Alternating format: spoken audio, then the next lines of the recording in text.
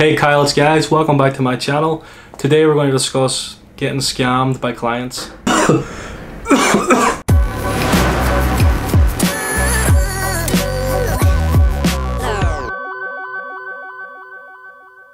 I'm going to give you the best three tips that I've learned over the last couple of years on how to deal with all the headaches and how to basically prevent yourself from getting scammed. When you first start out, you're going to have no portfolio, so what you have to do is build it. You're going to be contacting everybody on Instagram, any artist you know, any friends you know, trying your best to get a lead. The more projects you do, the better you're going to get, and it's going to lead to paying jobs in the future. I feel like Joe the Puma. You want to buy some sneakers? I think on my third music video, I travelled to Dublin was from Derry to Dublin is a three hour drive. I shot the video for about six hours. Walk the guy didn't have locations, we were just walking about Dublin looking for car parks and empty spaces. I got paid a hundred pound that day for the video. You bet your sweet bippy I did. So my petrol was probably like sixty pounds, so really I made about what forty pound profit, well profit if even. The worst about it was after the video he gave me the hundred pound, I was like, oh thanks. It was covered in hair gel from his bag, and, the, and he said that's all he could afford to pay me. He then took the model from the video out for drinks after it and I just drove home. So at the start it's going to be absolutely horrendous. Before we get into the three tips, I'm going to tell you about how I almost got scammed twice and I'm going to show you the messages from the clients.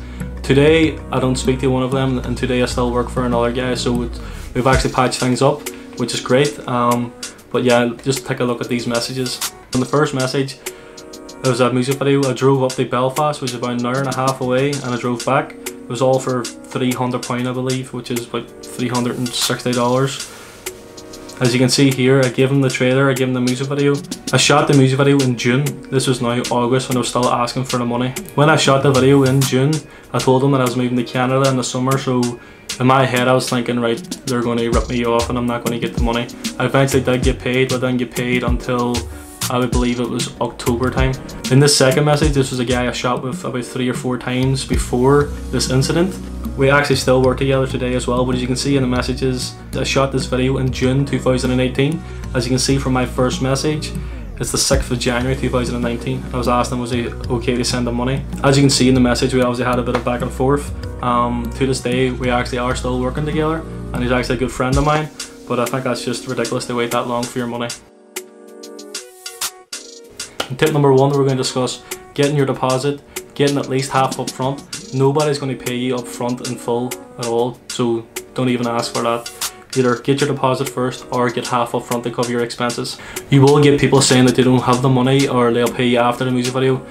If you want at the start you can do that, but if you have a bit of portfolio built and you have your website and stuff up and running and you are really working for your money, you're putting in the hours, then just say no they will come back to you and they probably will give you a deposit or at least hopefully half. Basically just having respect for yourself also. Um, if you're going to be treated like that then what is the point it's just going to give you a headache at the end of the day and then you're always going to be waiting two or three weeks until you get paid to actually give you the money you actually feel better when you get a deposit or you get the money up front um, you feel a bit successful to be fair tip number two is going to be trust no one everybody you meet on instagram or every client you usually speak to you're obviously not the first person they've spoken to about a music video. They have asked probably four or five people before yourself. So they're probably getting quoted a thousand pound or a couple hundred pound. They're obviously looking for the cheapest deal. They probably don't really care about the product. They just want to look cool in a music video. Trust nobody at the start. Like I said in that second message, I worked with that guy before. We did four or five previous music videos. We're getting on together. We would go out to dinner, drink, stuff like that. I think if I didn't pass for the money, I probably wouldn't have got it. Um, it's just the fact of the principle, really. So if you add all the hours up I did that day alone, was 3 hours for the drive, 8 hours to shoot the video, and then the editing. So you edit the footage, it's like what, 10 hours?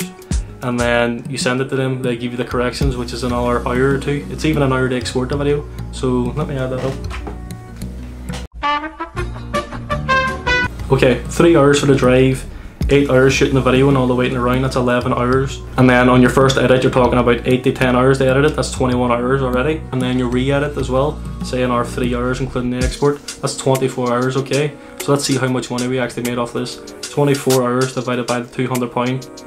That's how much you get paid per hour.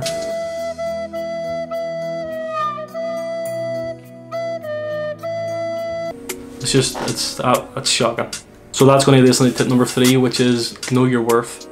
People don't see all the hours we do, all the traveling, all the hours spent on YouTube learning new tips and tricks. They don't see all the time we spend alone charging batteries, let alone all the money you paid for your gear, which is what MacBook, £1,500, your camera, your stabilizer, it adds up. You have to know that you're worth it and the opportunities will come.